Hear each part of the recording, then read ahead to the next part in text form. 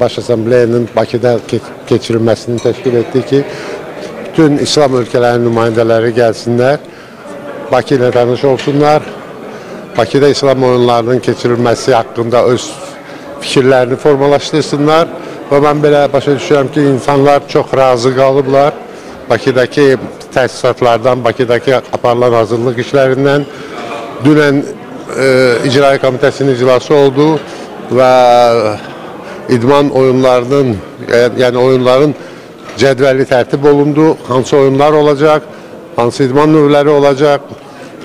Yarışların vaxtı müəyyənləşdirildi ki, may ayının 12-sindən 22-sinə kimi 2017-ci ildə bu oyunlar olacaq. Mən hesab edirəm ki, assambleya öz işini uğurla başa çatdırdı və bizim vəzifəmiz bundan sonra İslam oyunlarına hazırlaşmaq və onu Avropa oyunları kimi yüksək səviyyədə keçirməkdir.